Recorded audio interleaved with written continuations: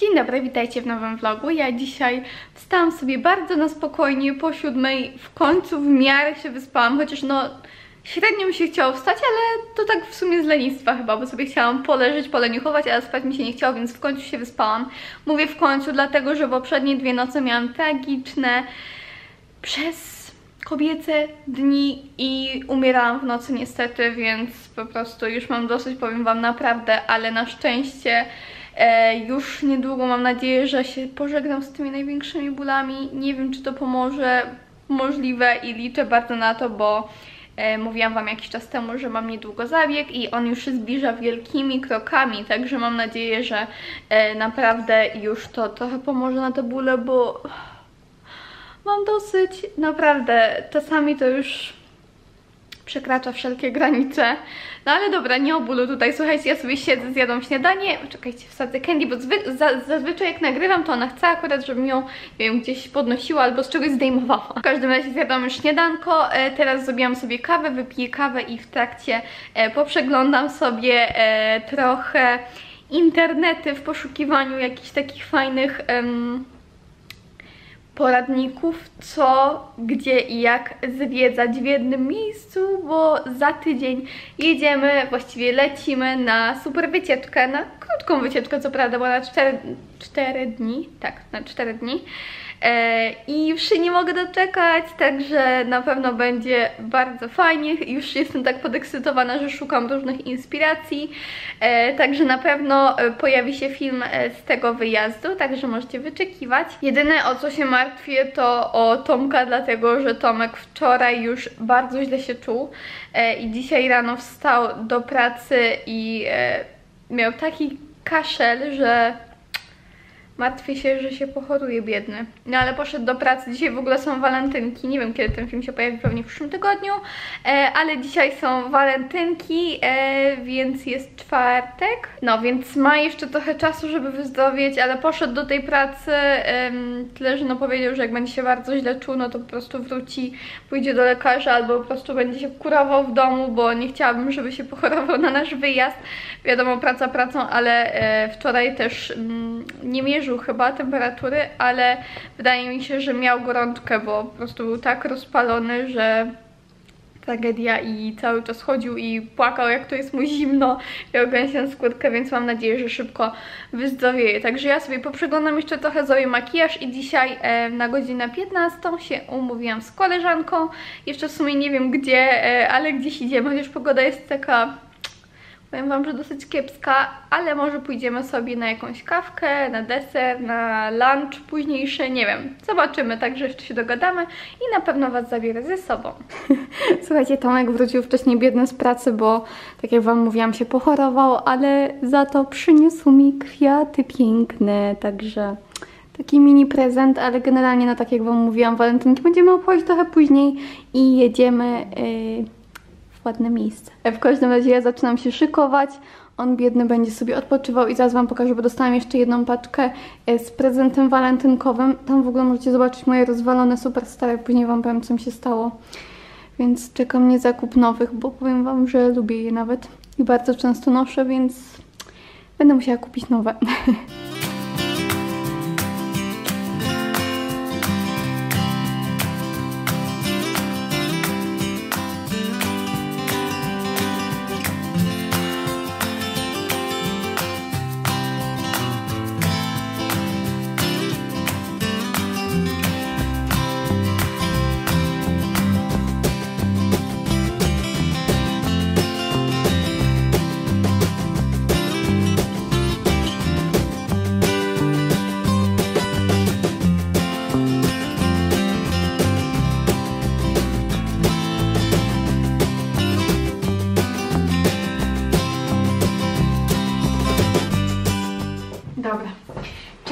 Słuchajcie, mamy kolejny dzień, trochę może Was odsunę.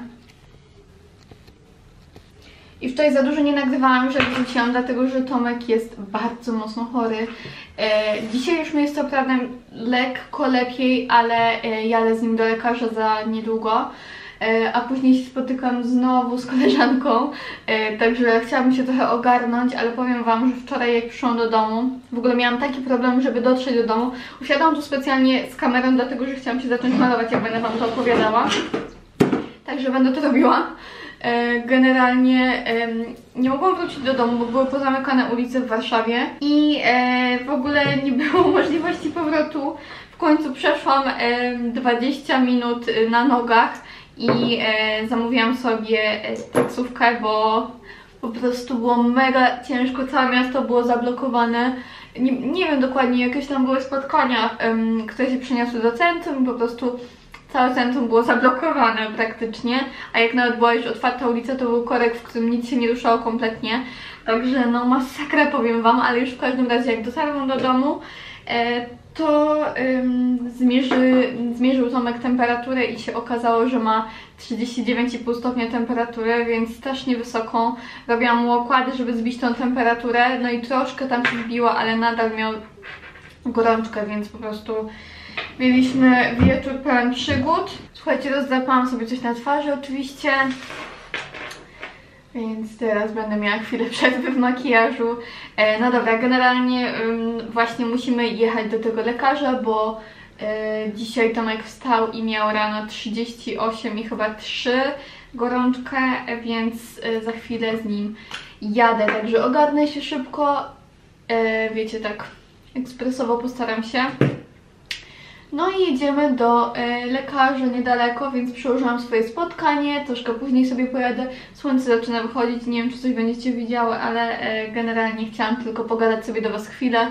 W trakcie robienia makijażu, nie będę go całego tutaj nagrywała ale powiem Wam, że namartwiłam się w nocy, się budziłam co chwilę, bo się bałam, właśnie trochę żałowałam, że może powinniśmy jechać na pogotowie, jak miał taką wysoką gorączkę i po prostu, wiecie, dla pewności, czy nic tam bardzo złego się nie dzieje, więc w nocy się budziłam, bo się martwiłam, czy w ogóle, wiecie, nic mu się nie stanie.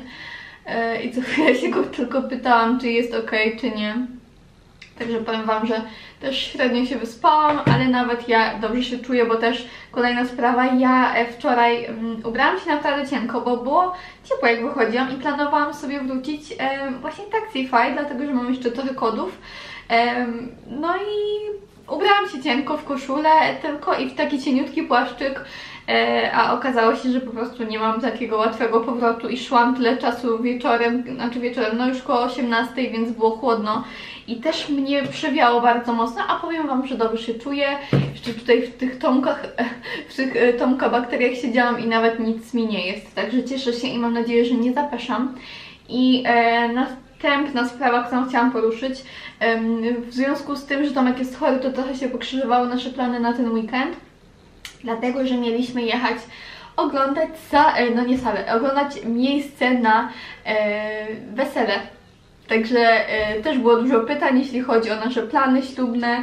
E, ja nie będę aż tak bardzo wchodziła w szczegóły co do dat, nie będę jej podawała i tak dalej, ale generalnie już e, zaczęliśmy planować co nieco, także no może w trakcie to, co będę chciała pokazać, to pokażę w jakichś vlogach, czy coś tam opowiem, także mm, no myślę, że jakąś tam małą część tego wszystkiego Wam pokażę i się z Wami nią podzielę, także mam nadzieję, że się cieszycie i zaczynamy już robić pierwsze ślubne plany, także naprawdę super sprawa. E, I no nie wiem, jak macie jakieś pytanie możecie zadać, może coś tam powiem Wam w kolejnym vlogu, ale tak jak mówię, e, nie chcę aż tak bardzo, wiecie, tego wszystkiego pokazywać, to jest prywatna sprawa, którą chciałabym przeżyć z bliskimi, z Tomkiem e, i nie chcę tego poddawać takiej, wiecie, opinii publicznej, bo ja już wiem o tym bardzo dobrze, aż za dobrze, że cokolwiek nie powiem, cokolwiek nie zrobię, cokolwiek nie pokażę, jakkolwiek nie wyglądam, dosłownie każdy aspekt życia, czy nieważne w jaką stronę, zawsze znajdzie się krytyka niemiła. Zawsze, po prostu zawsze, więc e, to jest coś takiego, z czym chciałabym wiązać później przyjemne wspomnienia, a nie po prostu, e, nie wiem, jakiś hejt, czy jakieś takie, wiecie, nawet, że nie chcę, żeby ktoś mi mówił, że ja bym zrobiła to inaczej, czy według mnie robicie coś nie tak, to mi się nie podoba, bo, bo to jest, wiecie, prywatna sprawa i ma się nam podobać, my mamy być zadowoleni, ale słońce wyszło. Także dobra, ja się szybko pomaluję i później Wam, no to do Was wrócę. Dobra, słuchajcie, wróciliśmy od lekarza i ja już zaraz wychodzę na spotkanie. Chciałam Wam tylko pokazać outfit, który jest tak przewidywalny na mnie. Słuchajcie, ja już zanudzam z tą marynarką, ale naprawdę ją uwielbiam, także jak nie wiem w co się ubrać, zawsze ubieram tą marynarkę, ale założyłam sobie tutaj e, do kucyka taką e, chustę taką apaszkę. Bardzo fajnie to wygląda, powiem Wam, także jestem zadowolona. Makijaż też mam taki bardzo prosty, dosyć minimalistyczny, e, także tak się prezentuje i założę sobie chyba po prostu jakieś takie czarne, zwykłe botki.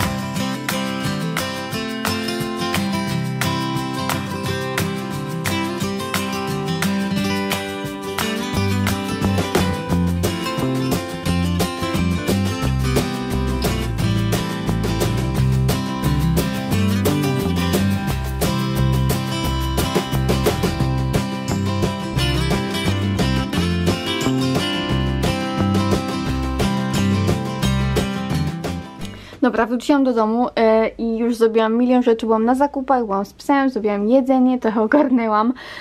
E, powiem wam właśnie, że jak, e, nie wiem czy też tak macie, że jak ktoś jest w domu, to nie możecie się skupić i po prostu robicie milion rzeczy, ale ten czas tak leci, że tak naprawdę nic konkretnego nie zrobicie, tylko jakieś takie pierdoły, za przeproszeniem. Także um, miałam wam pokazać w ogóle, co mi się stało z tymi butami. Wypadły mi z nich um, w praniu, już prałam je nieraz, ale no nie wiem, może to już jest ich czas. E, wypadły mi najpierw takie wkładki z wierzchu, takie cieniutkie z tym znaczkiem Adidasa, to już je wywaliłam kiedyś. E, I później były te takie wkładki niebieskie, które są pod spodem takie, wiecie, no to jest taka w sumie jakby wyściółka tego buta, więc wypadło mi to całkowicie teraz i wrzuciłam do prania te buty z takimi czarnymi botkami, kiedyś Wam pokazywałam z Renę takie wiązane. Czekajcie, Wam posadzę, bo ona chce wyglądać przez okno. Mówiłam Wam, że tak zawsze jest, jak nagrywam, to ona po prostu chce wtedy, żeby się nią zajmować. Ale Ty wyglądasz nieuczesami dzisiaj, przyznaję się. No nieważne. E, w każdym razie, jeśli chodzi o te buty, to mi tak, teraz wyszły mi całe te wkładki że tutaj to, co już zostało, to jest tylko ta taka pierwsza warstwa twarda, taka guma przyszyta do buta. I kolejna sprawa, która się stała, tak jak mówię, wrzuciłam je do prania e, z tymi e, botkami. I co się stało z jednym z botków. E, wyszłam w nich na chwilę dzisiaj z psem, więc nie będę wam pokazywała, bo podeszwa jest brudna, ale cała podeszwa tutaj pod spodem, w tym czarnym bucie pękła mi w tą stronę w praniu więc tak w poprzek. I ten but się rozlazł, więc jak ja robię kroka, to po prostu czuję, że to się tak rozłazi. I tam w środku, w tym podbiciu, w tej podeszwie tamtego buta było jakieś takie różowe, nie wiem, jakiś taki różowy materiał, nie wiem co to jest, ale takie różowe coś, co zafarbowało mi te buty. Ja nie wiem, czy to jest w kamerze widać, chyba nie jest dobrze widać, ale generalnie cała, to jest białe, a to jest takie różowe i tutaj wszystkie te takie brzegi, te gumy zrobiły się różowe, że naprawdę na żywo wygląda to okropnie. Mówię wam, teraz może jest sztuczne światło i to się tak nie rzuca, ale naprawdę z daleka jest widać ogromną różnicę. Tak jak patrzę teraz podgląd kamery, to nie wiem, czy jest światło takie jasne w tym aparacie. W ogóle mi się wydaje, że on ma fajny, jasny e, obiektyw, jasne e, jest to światło, wszystko jest ładnie, ale nie oddaje czasami właśnie e, takich intensywnych odcieni. Przez to to wszystko jest, słuchajcie, różowe. Myślę, że widać też różnicę w sznurówce, która jest, no jest lekko strzeżała, ale to jest bardzo różowe, więc no niestety, no raczej nie, nie będę chciała już w tych butach chodzić, no nie podoba mi się i w świetle dziennym jest to bardzo, bardzo mocno widać. Te buty już w sumie długą drogę ze mną przeszły i tak jak tutaj nie, nie widuję ludzi, żeby chodzili aż w tak zniszczonych butach, ale w Londynie, na przykład w metrze, bardzo mi się rzucało to w oczy, wiecie, no jak się siedzi przez 40 minut naprzeciwko ludzi, to no już wam się nudzi te patrzenie w telefon albo nie ma zasięgu i patrzycie, nie wiem, chociaż na nogę komuś. I tam po prostu strasznie się to rzucało w oczy, że ludzie chodzą dziewczyny, zwłaszcza w superstarach, tak bardzo zniszczonych, e, w superstarach i w konwersach, e, że po prostu one są brązowe wręcz, więc mi się wydaje, że moje naprawdę i tak są w bardzo dobrym stanie po tak długim czasie. Co ty robisz? Teraz chcesz zejść jednak? Także mi się wydaje, że moje i tak utrzymało się bardzo dobrze, no ale podejrzewam, że to już będzie czas powiedzieć papa, chyba, że macie jakiś sposób, albo spróbuję może jakimś zmywaczem do paznokci czy czymś, e, wiecie, wyszorować to, ale no nie wiem, czy jest sens, bo tak jak mówię, nie dosyć, że to, to jeszcze ta wkładka wylazła, one już tu są poobdzierane trochę, także nie wiem, czy po prostu nie kupię sobie nowych, tylko myślałam, czy nie kupić całych białych, w sensie te paski też są białe, bo tak trochę za mną chodzą, żeby coś sobie zmienić, ale generalnie bardzo lubię te buty, są niesamowicie wygodne i moim zdaniem pasują do wszystkiego, i do sukienek, do spódniczek, do spodni, naprawdę do wszystkiego, więc tak się zastanawiam. I teraz robię sobie na e, podwieczorek już w sumie mój budyń jaglany. Trochę chyba zmniejszy ten gaz, e, ale generalnie jak widziałyście jadłam takie pierożki dobre w El Krepel byłyśmy, tak się nazywało to miejsce w Warszawie e, i jadłam takie pierożki na słodko z serem, e, z taką pianką malinową e, i ze śmietanką, przepyszne to było, e, także takie małe odstępstwo, no może nie niezdrowe, ale kaloryczne, ale było przepyszne naprawdę i różan, różaną latte. Co Tomek patrzysz? Nie przyniosłam ci. Pójdziesz ze mną, jak wyzdrowiejesz, ty tam leż. On cały dnie biedny leży. Dzisiaj byliśmy u tego lekarza i dostał antybiotyki. Ma chyba 5 czy 6 dni leżeć w łóżku, więc nacierpi się. Ale powiem wam, że wzięłam tam te pierożki i były chyba 4 czy 5 tych pierożków, a tak się najadłam. Co to piszczy? A. a tak się nimi najadłam, że po prostu myślałam, że pęknę. I Paulina wzięła sobie taką pyszną kanapkę, w sumie tosta, ale to było tak pyszne, e, z serem e, i chyba z oliwą, jak to, truflową, coś takiego, ale to było po prostu tak pyszne, bo mi spróbować, naprawdę pychota. I miejsce wygląda niesamowicie e, fajnie. I też polecam Wam dlatego, że obsługa jest bardzo miła, no naprawdę, śliczne to miejsce jest. Wczoraj tak walentynkowo jeszcze przyszła do mnie paczka od marki Semilak i dostałam czekoladki, także bardzo dziękuję. Czekoladki serduszka. U nas w domu się nie marnują takie rzeczy. E, no i najważniejsze, czyli nowy produkt. Marka Semilak, jak wiecie, e, ma pomadki matowe w płynie. Ja zresztą bardzo lubię te pomadki, naprawdę mają genialną konsystencję, są bardzo takie lekkie e, i e, długo, też niesamowicie długo się trzymają ust. Wczoraj w ogóle cały dzień miałam na sobie, pokazywałam Wam w przebitkach, że mm, byłam w czerwonej pomadce i była to pomadka właśnie z Semilaka. ta matowa wpłynie w odcieniu Sexy Red. Jest to mój ulubiony odcień czerwieni na ust ustach i ona trzymała mi się odkąd, wiecie, zanim wyszłam z domu, później jadłam, piłam kawę, nic się kompletnie nie stało, przyszłam do domu jeszcze, wiecie, posprzątałam, zanim się wyszykowałam, nie wyszykowałam, zanim się zmyłam, zanim zmyłam makijaż, to e, po prostu cały czas się trzymała, nic tam się kompletnie nie działo i teraz mm, Semilak wypuścił pomadki w sztywcie i są to pomadki takie kremowe, z tego co tutaj wyczytałam. Klasyczne, takie w sztywcie, ale za chwilę pokażę Wam jak wyglądają w środku. E, opakowanie jest bardzo takie, jak widzicie, eleganckie, proste, naprawdę niesamowicie ładne. Podoba mi się właśnie, że jest takie proste i tutaj e, z tyłu na końcówkach, na tych skówkach, jak widzicie, mamy pokazany odcień, a od góry jest jeszcze opisany jaki to jest numerek, jaka nazwa, e, także zaraz Wam pokażę i sama jestem ciekawa jak będzie wyglądało to na słoczu, jak to będzie wyglądało na ustach, czy to będzie faktycznie takie satynowe, kremowe wykończenie. I spójrzcie, tutaj mamy taką skówkę, jak w długopisie wciskamy sobie to i się otwiera. I pomadka wygląda w ten sposób. Zaraz zrobię słocza i zobaczymy. No jeśli chodzi o słocza, tak to wygląda. Faktycznie jest ta pomadka kremowa, ale jest bardzo, bardzo mocno napigmentowana. Może uda mi się nagrać jakiś filmik albo zrobić e, zdjęcia z, ze słoczami na ustach tych pomadek. Lubię takie filmiki w ogóle tworzyć e, ze słoczami.